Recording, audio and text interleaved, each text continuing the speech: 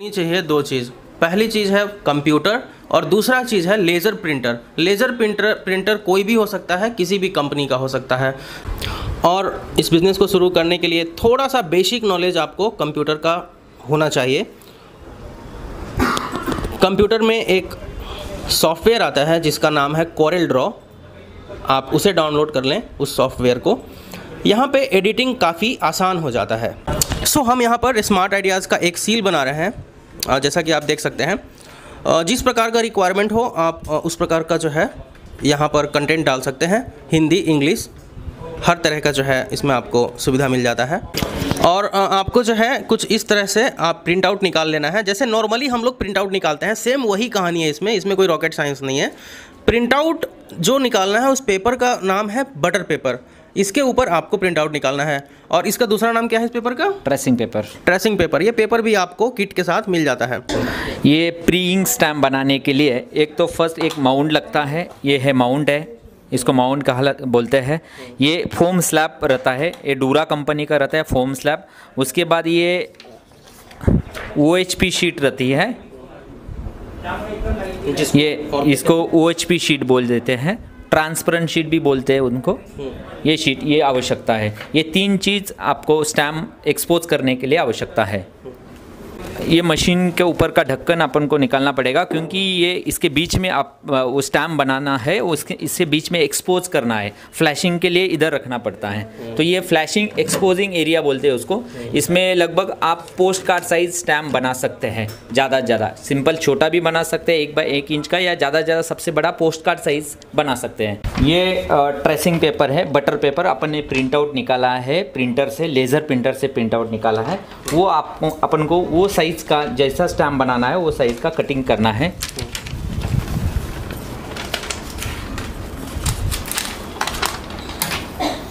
ये tracing paper है वो अपन को चाहिए स्टैम्प बनाते हो। जितना स्टैम्प का मैटर है उतने साइज़ का आपको कट टू कट करके कट करके लेना पड़ेगा। तो ये अपन कट करके ले रहे हैं वो साइज़ का। ओके अब? अब अब अभी सेकंड ट्रेसिंग होने के बाद वही साइज़ का अपन को O H P sheet cut करके लेना है। उसको tracing O H P sheet means clear transparent sheet भी बोलते हैं। ये ट्रांसपेरेंट शीट है। वही साइज़ का, उससे बड़ा जैसी ट्रेसिंग पेपर है, उससे दो इंच बड़ा चाहिए। दो इंच या ज़्यादा ज़्यादा बड़ा होना होगा तो चलेगा उसमें। ओ एच पी होने के बाद वो साइज़ का कट करके लेने के बाद ये फोम स्लैब बोलते हैं उसको, इसको डूरा फोम स्लैब बोलते हैं। वो अपन को जैसा मैटर रहेगा साइज़ रहेगा, वही साइज़ का अपन को कट करके लेना है। तो ये फोम शीट का अपन, ये साइज़ छोटा साइज़ स्टैम्प बना रहे तो वो साइज़ का अपन को कट करके लेना है। तो इसको फोम स्लैब ये कटिंग कर दिया। तो ये ट्रेसिंग पेपर हो गया है, उसके बाद ये ओ एच पी शीट हो गई है और ये फोम स्लैब हो गया ये तीन चीज़ अपन को लगने वाली है। अभी अपन मशीन में एक्सपोज करने जा रहे हैं। तो फ़र्स्ट ये ग्लास है। ग्लास के ऊपर एक एक्लिक शीट रहती है। वो एक्लिक शीट उसके ऊपर रखना ज़रूरी है। उसके बाद ये ट्रेसिंग पेपर है। तो ट्रेसिंग पेपर ये कांच के ऊपर एक्रिलिक शीट के ऊपर रखना है। उसके बाद ये ओएचपी शीट रखना है। उसके बाद जो साइज़ का, उसका फोम स्लैब कटिंग किया हुआ है, वो साइज़ का एग्जैक्ट उसके ऊपर रखना है। ये फोम स्लैब रख दिया। उसके ऊपर ये फिलर बॉक्स है। ब्लैक कलर का, वो अपन को रखना पड़ेगा, उसको प्रेशर के लिए रखना है वो।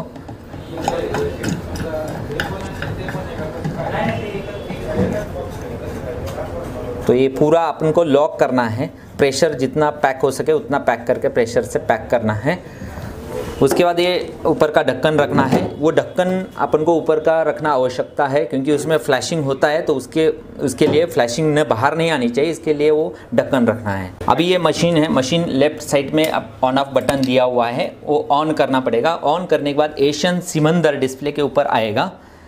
एशियन सिमंदर आने के बाद अपन को नंबर ऑफ़ फ्लैश सिलेक्ट करना है। इसमें आप वन टू नाइन भी सिलेक्ट कर सकते हैं। तो अपन एक स्टैम्प के लिए अप्रॉक्स चार फ्लैशिंग लगता है। तो वन, टू, थ्री, फोर। तो फोर आने के बाद आपको उनको छोड़ देना है उसको। तो ऑटोमेटिक चार फ्लैश नंबर ऑफ़ चार फ्लैश आएगा ऑटोमेटिक चार्जिंग पे जाएगा। चार्जिंग होने के बाद ऑटोमेटिक वो फ्लैशिंग लेगा। तो फ्लैश फायर फायरिंग फ्लैश ऐसा लिख आएगा उसमें।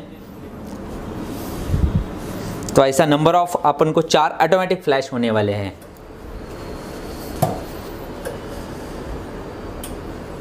तो अभी दो बचे हैं।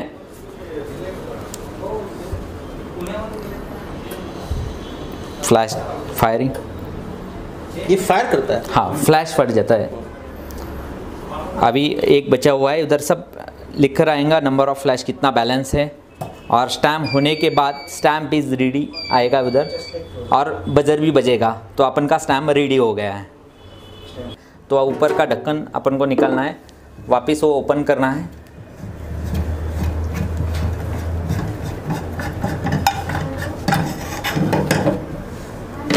आप देख रहे हैं, अपन ने रखा था पहले tracing paper O H P sheet वो धीरे से आप प्रॉपरली निकालिए। आपका स्टैम्प रेडी हो गया है मतलब फ्लैशिंग प्रॉपरली क्लियर हो गया है। ये चारों साइड अपना एक्सपोज प्रॉपरली होना ज़रूरी है। तो अपन का फ्लैशिंग प्रॉपरली हो गया तो आपका इंप्रेशन भी क्लियर आएगा। ऐसे ही पकड़ कर रखते हैं हम्म। फोम स्लैब अपन के मशीन के फ्लैशिंग किया है तो फ्लैशिंग करने के बाद अपन को इंक ट्रे लेना पड़ेगा, क्योंकि उसमें इंक रिफिलिंग करना पड़ता है इंक ऑब्ज़र्व हो जाती है उसमें। तो ये ट्रे है, ये ट्रे लें मार्केट से कहाँ पे मिल जाता है ट्रे ये ट्रे हम एक्चुअली जब मशीन और मटेरियल लेते हैं तो हम आप अवेलेबल कर देते हैं। और ये प्लास्टिक ट्रे है, उसके अंदर एक क्लॉथ है तो इंक ऑब्ज़र्व करने के लिए है। ये इंक आएँगी, उसमें डूरा कंपनी की इंक है डूरा इंक उसके अंदर डालना है ट्रे के अंदर।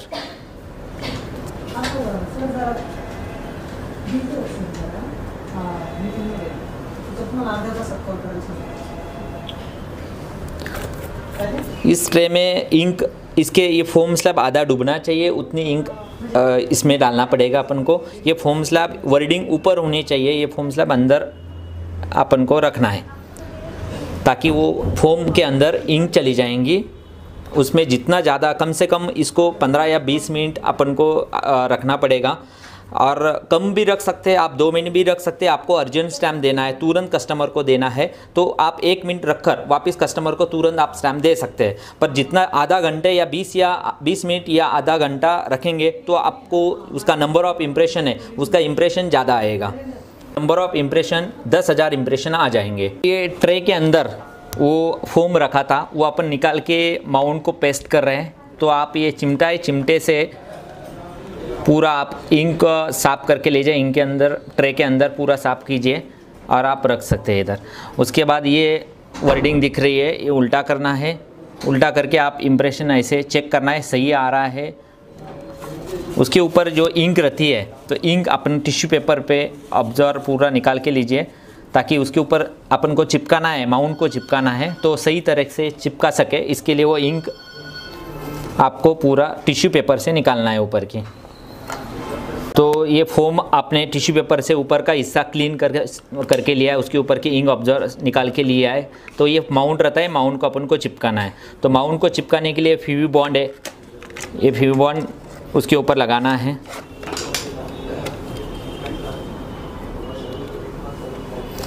बॉन्ड उसका जितना एरिया है, उतना आप लगा दीजिए उसमें। इसके ऊपर भी थोड़ा लगाना है।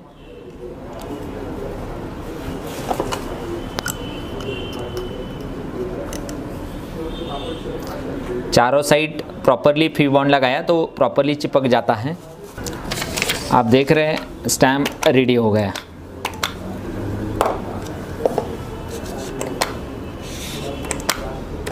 आप देख रहे हैं फ्लैशिंग प्रॉपरली होने के वजह से साइड से आपको का इंक नहीं दिख रही है, क्योंकि जो फ्लैशिंग ये प्रॉपरली चारों साइड फ्लैशिंग क्लियर हो गया है। इसके लिए आपका स्टैम्प की इम्प्रेशन की क्वालिटी भी क्लियर आ रही है। तो अभी अपन ने ये डूरा स्टैम्प बनाने का विधि देख लिया अभी। अभी हम ये बॉक्स वाले रहते हैं, एक स्टैम्प पर सन स्टैम्प बोल देते हैं। वो स्टैम्प बनाने का प्रोसीजर हम आगे बता देते हैं। अपन ने डूरा स्टैम्प बनाया था। उस जैसा अपन सन स्टैम्प बनाने के लिए सेम ट्रेसिंग पेपर पे प्रिंट आउट लेना पड़ेगा। तो ट्रेसिंग पेपर अपन जो साइज़ का है, वो साइज़ का कट कर देते हैं।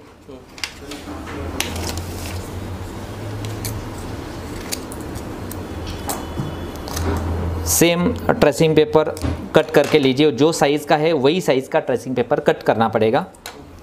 उसके बाद same OHP sheet transparent sheet बोलते हैं उसको। क्लियर शीट रहती है। उससे दो एम mm बड़ा चाहिए। वो बड़ा शीट कट करके ले लीजिए। उसके बाद जो स्टैम्प बनाना है बॉक्स वाले, उसको एक स्टैम्पर बोल देते हैं। सन स्टैम्प भी रहता है प्लस स्टैम्पर भी रहता है। सेम दिखने के लिए रहता है ब्रांड अलग अलग है स्टैम्प का। तो होल्डर पहले ले लीजिए। अपने ओएचपी शीट कट करके लिया है ट्रेसिंग भी कट करके लिया है। फोम के फोल्डर ले फोल्ड के ऊपर ओएचपी शीट रखना है, और वही साइज़ का प्रॉपर ये वाला जो है ये डब्बा जो है ऐसे ही बना हुआ आता है? हाँ ये रेडीमेड डब्बा रहता है पूरा रेडीमेड सील रहता है फोम उसके अंदर सील रहता है। हम्म, और अभी हमने जो पहले बनाया था वो? वो फोम अलग रहता है माउंट अलग रहता है। अच्छा ठीक इसमें इसमें वो उसमें जो पहले बनाया था उसमें फोम माउंट को चिपकाना पड़ता है। इसमें कहाँ फीवी बॉन्ड से कोई चिपकाने की आवश्यकता नहीं है। तो ये फोम के ऊपर आप ओएचपी शीट रखिए और वही साइज़ का प्रॉपरली कट करके रखिए। इसमें ज़्यादा बड़ा भी नहीं चाहिए। जैसा फोम का एरिया है, उससे दो एम एम ज़्यादा बड़ा चाहिए। उसके ऊपर जो ट्रेसिंग पेपर अपन ने प्रिंट आउट निकाला है, वो उसके ऊपर उल्टा रखकर, उल्टा रखना है और जो अपन को साइज़ का चाहिए, वही साइज़ का अपन को लेना पड़ेगा। उसके बाद वो प्रॉपरली सेंटर में रहना चाहिए। इधर भी नहीं जाना चाहिए, एक साइड में नहीं जाना है प्रॉपरली सेंटर में जाना चाहिए तो प्रॉपरली आपका स्टैम्प सेंटर में बनेगा और प्रॉपरली वो इम्प्रेशन भी सही आएगा। उसके बाद जो इसके ऊपर चिपकाना है तो इसके लिए चिपकाना है, ये हिलना नहीं चाहिए। तो अपन का सेलो टेप रहता है। सेलो टेप से आप दोनों साइड से आप चिपका दीजिए उसको।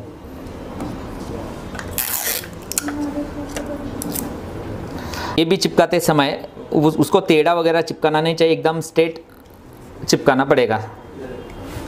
ये चिपक, ये चिपकाने वो ट्रेसिंग पेपर और वो एच पी शीट अंदर रहेगा, ऊपर ट्रेसिंग पेपर है। वो चिपकाने के बाद पूरा होल्डर दोनों साइड से रेडी हो जाएगा। वो होल्डर पूरा ये मशीन के अंदर आपको रखना है। मशीन के अंदर रखते समय प्रॉपरली सेंटर पे रख दीजिए उसको। और आप वो ऊपर का ढक्कन आप पैक कर दीजिए। पूरा टाइट करना है।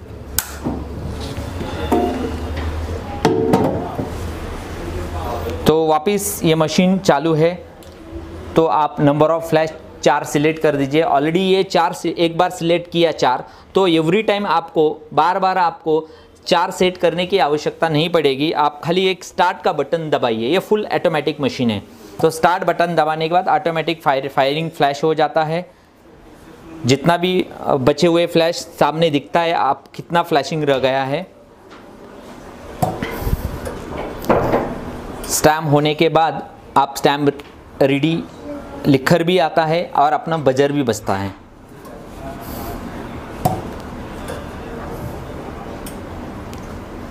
अभी एक फ्लैश रह गया है।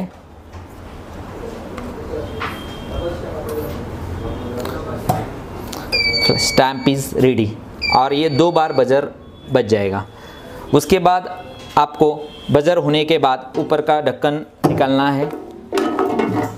ढक्कन निकालने के बाद सेम आपको ये निकालना है, उसका स्क्रू धीरे से निकालना है। ये आप देख सकते हैं स्टैम्प रेडी हो गया जैसा अपन ने लगाया था। तो वही धीरे धीरे आप चेक कर सकते हैं, निकाल सकते हैं। और वो देखिए, एक फ्लैश हो गया है। ये क्लैरिटी देखिए ये क्लैरिटी ये अपन के उड़ान मशीन में आ जाती है। क्योंकि बिकॉज़ उसमें लॉजिक कंट्रोल कंट्रोलर लगा हुआ है। लॉजिक कंट्रोलर क्या करता है? जितना फ्लैशिंग चाहिए, उतना ही फ्लैशिंग होता है। ओवर फ्लैशिंग नहीं होता है। और एक कम भी फ्लैशिंग नहीं हो रहा है। उसमें आप देख रहे हैं, अपने मशीन के अंदर ये फ्लैशिंग किया हुआ है स्टैम्प स्टैम्प फ्लैशिंग होने के बाद इसमें अपन को इंक डालना पड़ेगा। तो इंक डालने की मैं प्रोसीजर बता रहा हूँ। इसके ऊपर एक ढक्कन रहता है, वो ढक्कन आपको निकालना है। ढक्कन निकालने के बाद अपन ये वज़न काटा है। वज़न काटा स्मॉल एक स्मॉल वज़न काटा है, वो ऑन करना है। वज़न काटा इसके लिए देना है, आपको एग्जैक्ट इसमें इंक गई तो एक्सेस इंक नहीं होती है, ज़्यादा इंक नहीं हो जाती है। जितना इंक चाहिए, उतना इंक होल्डर के ऊपर, वो वज़न काटे के ऊपर रखना है होल्डर उसके बाद ये वज़न, उसका वज़न टेयर ज़ीरो करना है। ज़ीरो होने के बाद उसके ऊपर इंक डालना है। तो इंक प्रॉपरली इसको चार ग्राम इंक डालनी पड़ती है।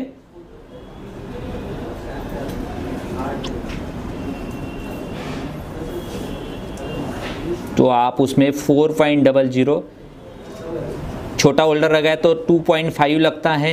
तो एक्चुअली इंक चार्ट रहता है। इंक चार्ट के हिसाब से आपको इंक डालना है इसमें।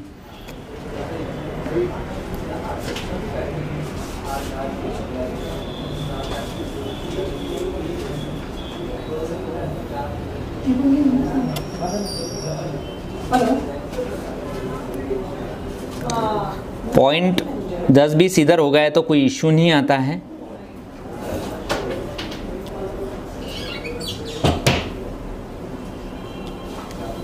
तो आपका इंक इसमें उसके अंदर डाल गया है।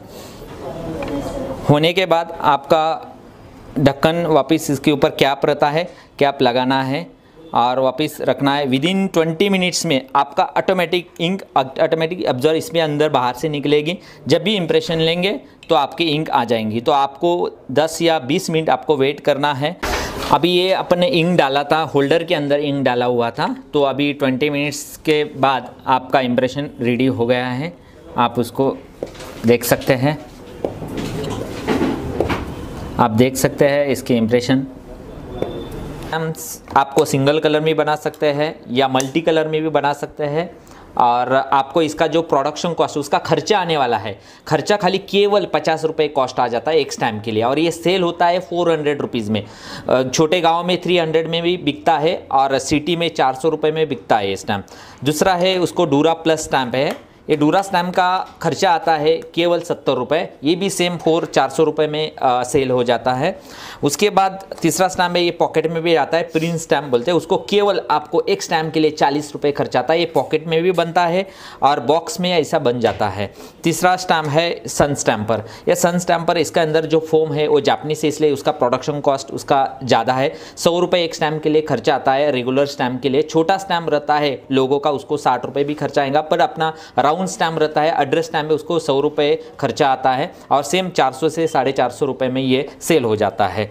तीसरा स्टैम्प है क्रिस्टल डायमंड करके नया मार्केट में आया हुआ है। इसमें इसका लुक भी दिखने के लिए खूबसूरत है। टेबल के ऊपर आप पेपर वेट के जैसा भी रख सकते हैं स्टैम्प प्लस पेपर वेट इसका खर्चा आपको केवल साठ रुपये खर्चा आता है। सेम ये तीन सौ लेके से लेके चार सौ रुपये तक आपका ये सेल हो जाता है। स्टैम्प है, उसको एक स्टैम्पर है। एक स्टैम्पर कंपनी अलग अलग कंपनी है। इसमें पॉकेट पॉकेट भी है। पॉकेट में सेम पॉकेट स्टैम्प जैसे यूज़ होते हैं। उसमें होल्डर में चाहिए बॉक्स में। बॉक्स में भी अवेलेबल है। उसमें आप किचन स्टैम्प भी है।